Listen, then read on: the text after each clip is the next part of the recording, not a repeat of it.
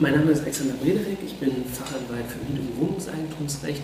Im heutigen Videoblog geht es nochmal um Tierhaltung. Ich hatte ja relativ äh, viele Videos, also eine kleine Serie zur Frage Haftung für Schäden für Tiere in Mietwohnungen gemacht. Und äh, jetzt kamen so ein paar Anfragen, äh, dass ich doch vielleicht nochmal grundsätzlich erklären soll, wie das überhaupt mit Tierhaltung in Mietwohnungen ist.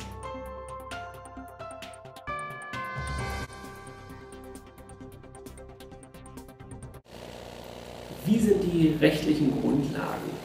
Wenn ich ein Tier habe und mir eine Wohnung miete, äh, dann ist der richtige Zeitpunkt, um mir zu überlegen, ob ich dieses Tier in der Wohnung auch halten darf. Ich kann natürlich mit dem Vermieter direkt eine Vereinbarung schließen. Wenn ich das mache, dann äh, ist die Haltung des Tieres auch zulässig. Also wenn ich einen Schäferhund namens Pfiffi habe, der ist vier Jahre alt und äh, schreibe in den Mietvertrag zusammen mit dem Vermieter rein, dass ich meinen Hund äh, Schäferhund Pfiffi äh, äh, Alter vier Jahre in der Wohnung halten darf, dann ist das mietvertragsrechtlich auch kein Problem. Ähm, das ist ja eher der seltenere Fall. Meistens hat man ja eine Wohnung angemietet und will dann irgendwann mal äh, ein Tier halten. Und jetzt sollte man dann Folgendes machen. Zunächst guckt man mal in den Mietvertrag. Was steht denn da zu Tierhaltung? Ähm, jetzt gibt es sehr häufig in Mietverträgen gar keine Regelung. Ähm, und es gibt auch häufig Regelungen, die sehr rigoros sind, nach dem Motto, Tierhaltung ist verboten. Solche Klauseln, die eine generelle Tierhaltung verbieten, sind unzulässig. Und ähm, ich schilder jetzt mal kurz den Fall, dass wir entweder so ein generelles Verbot haben, das unzulässig ist, oder dass wir gar nichts dazu haben. Also keine Regelung. Dann gilt nämlich immer das Gleiche, dann gilt die gesetzliche Regelung. Und ähm, das Mietrecht ist ja im BGB, im Bürgerlichen Gesetzbuch, geregelt. Und jetzt wird man das BGB erfolglos durchblättern, wenn man da eine konkrete äh, Regelung zu ähm, Tierhaltung in Mietwohnungen sucht. Ähm, die Rechtsprechung äh, findet trotzdem was, und zwar in 535 Absatz 1 BGB.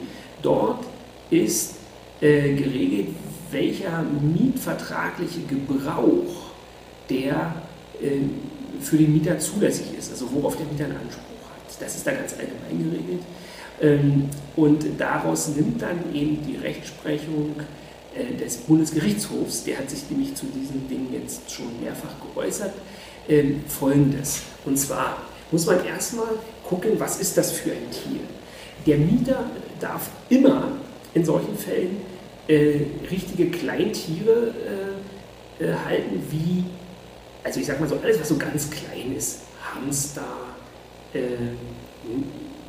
Meerschweinchen, Zierfrosch, er artgerecht gehalten wird, Fische, das darf der Mieter alles mietrechtlich halten, äh, ohne Genehmigung. Und wenn das sogar im Mietvertrag verboten ist, per allgemeiner Geschäftsbedingung ist das Verbot unwirksam, also das darf man immer halten.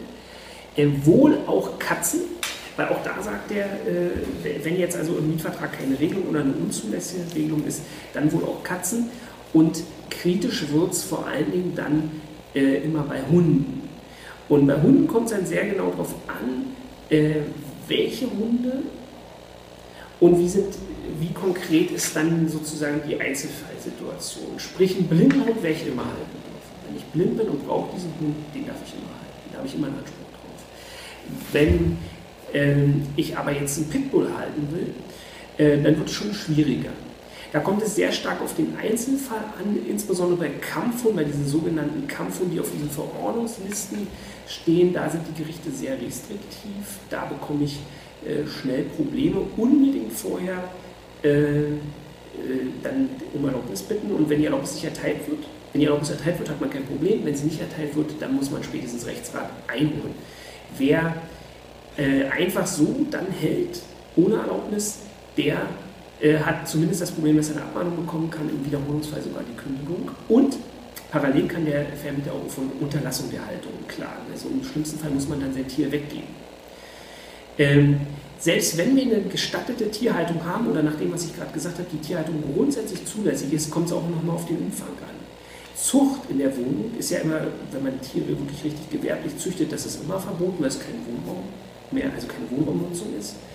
Und wenn man äh, den Umfang der Haltung so ausdehnt, dass der eben von bestimmten an sich zulässigen Tieren, zum Beispiel Katzen, ganz viele gehalten werden, dann kann das auch unzulässig sein.